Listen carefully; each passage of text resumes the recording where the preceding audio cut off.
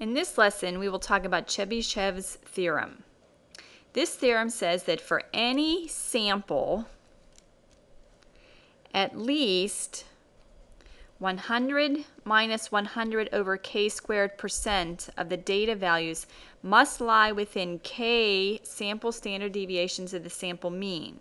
This is true for any k greater than 1. K does not have to be an integer, but it must be greater than 1. What interval contains the within k sample standard deviations of the mean? That interval is x bar, the sample mean, minus k times the sample standard deviation, and x bar plus k times the sample standard deviation s. This theorem also says that for any population, at least Again, 100 minus 100 over k squared percent of the distribution must lie within k population standard deviations of the population mean. Again, this is true for any k greater than 1. What does our interval look like in this case? It is the population mean minus k times the population standard deviation, and the population mean plus k times the population standard deviation. Let's fill in the following blank in the following statement. At least blank of the data values or the distribution must be within two standard deviations of the mean or two standard deviations of the population mean respectively. Let's fill in the blank. In this problem, what does k equal? k equals 2. So now we need to figure out what 100 minus 100 over k squared is.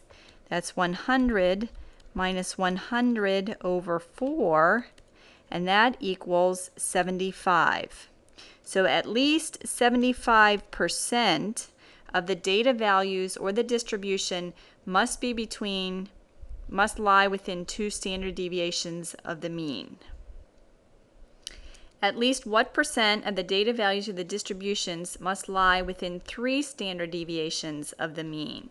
In this case, k equals 3, so we need to figure out what 100 minus 100 over 9 is. That is 88.9. So at least 88.9% of the data value from any sample or 88.9% of all values in a distribution must lie within three standard deviations of the mean. At least what percentage of the data values or distribution must lie within four standard deviations of the mean? K equals 4, so we need to figure out 100 minus 100 over 16. That equals 93.75. So at least 93.8% of the data values or the distribution must lie within four standard deviations of the mean. What percentage of the data lies within five standard deviations of the mean? In that case, k equals 5, and we need to figure out 100 minus 100 over 25, and that equals 96. So at least 96% of the data values from any sample or any population must lie within five standard deviations of the mean. Let's look at an example that uses Chebyshev's theorem. Suppose a random sample of 20 hours was selected, and for each hour, the number of customers served at the local gas station was recorded. If the mean number of customers served per hour was 118, and the standard deviation was 10.6 customers, calculate the following. We need to find the smallest proportion of data values and the interval that lies within two standard deviations of the mean. Let's first calculate the interval. Our interval should be x bar minus 2 sample standard deviations up to x bar plus 2 times the sample standard deviation. Our x bar, our sample mean, is 118 customers per hour minus 2 times 10.6 customers per hour. And the upper bound is 118 plus 2 times 10.6.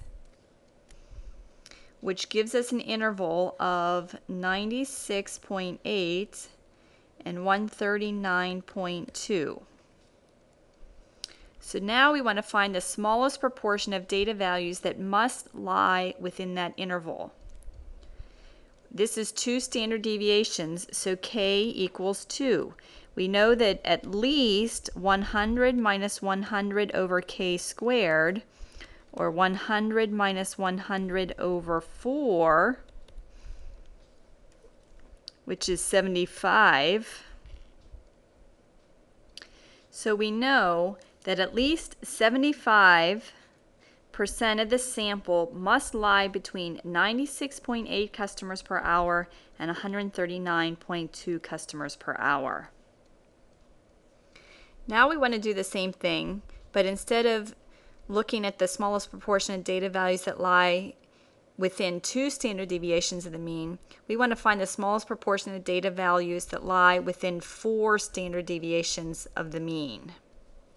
Again, let's start by calculating the interval x bar minus 4s and x bar plus 4s.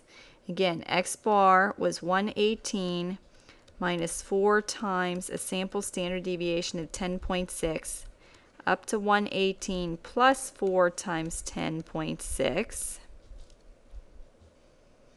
And that interval is 75.6 customers per hour up to 160.4 customers per hour. Now we need to find the smallest proportion of data values that must lie within that interval. In this case, k equals 4, and we need to calculate 100 minus 100 over 6k squared, which is 100 minus 100 over 16, which is 93.8. And we therefore know that at least 98.8% of the sample must lie between 75.6 customers per hour and 160.4 customers per hour. All of this was possible because of Chebyshev's theorem.